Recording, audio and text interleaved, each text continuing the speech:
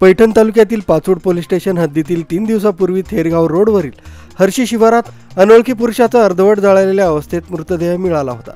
त्याचा खून करण्यात येऊन ओळख पटू नये म्हणून त्याच्या अंगावरील कपडे काढून मृतदेह जाळण्याचा प्रयत्न केला होता. त्या गुड खुनामधील मृतदेहाची ओळख पटवून त्याचे मारेकऱ्यांना तीन दिवसामध्ये औरंगाबाद ग्रामीणचे स्थानिक गुन्हे शाखेच्या पोलिसांनी तपासाची चक्रे फिरून आरोपीचा छडा लावलाय. व नागपूर व यवतमाळ इथून तीन आरोपींना ताब्यात घेऊन पुढील तपास कामी पाचोड पोलिसांच्या स्वाधीन केलाय. यातील मयत राजेंद्र रामभाऊ जाधव वय पंचेचाळीस वर्ष राहणार शेवगाव जिल्हा अहमदनगर. असं असून त्याची दुसरी पत्नी रेखा जाधव हिनं दीड वर्षापूर्वीपासून इंस्टाग्रामवर ओळख झालेला यवतमाळ जिल्ह्यातील प्रेमी युवकाला तिनं अनेकदा सांगितलं होतं.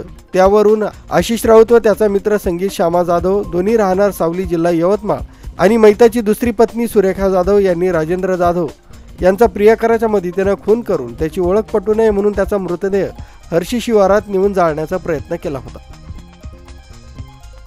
न्यूज जी नाईन महाराष्ट्रासाठी प्रतिनिधी सत्तार शेख पैठण औरंगाबाद.